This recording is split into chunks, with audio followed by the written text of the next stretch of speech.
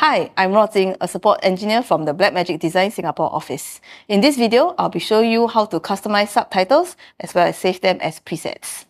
Starting from DaVinci Resolve 18.1, you are able to save your subtitle settings as presets. This means you can use the same subtitle settings across different projects and even share them with other people in your team. Let's take a look at how it works.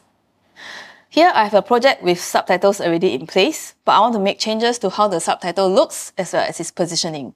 To do that, I can click on the subtitle track, which will open the inspector to the subtitle window. Click on track, and that's where I can change all the different parameters for the track itself. So I'm just going to change the font face and the font and make it slightly smaller, and also move it slightly lower when I have a setting that I like, what I can do is I can save this setting as a preset. And to do that, I just need to go to the top right three dot menu and click Save Track as Preset. Let me just give it a name.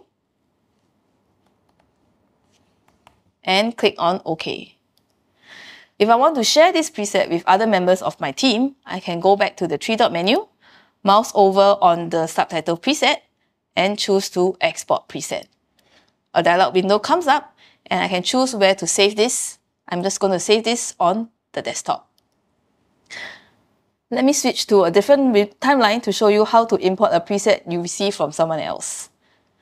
So in this timeline, what happens is there's a different resolution. So I would want to use a subtitle with a different setting so that it fits better in this resolution itself. To import a preset file, simply click on the subtitle track go back to the three dot menu and choose import preset. This is the preset that I previously received and I'm just going to choose open. Save the preset name and click on OK.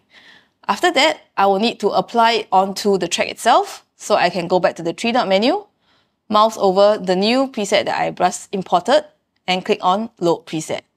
So you can see the preset the subtitle has changed. And if I go to track, you can see that the font and the font face are all different and are, have taken their properties from the preset settings themselves. Now, DaVinci Resolve 18.1 has also made improvements on how customizing subtitles work. So let's say I have a subtitle that I want to customize, and I can just go to select the subtitle and go to caption and click on customize caption.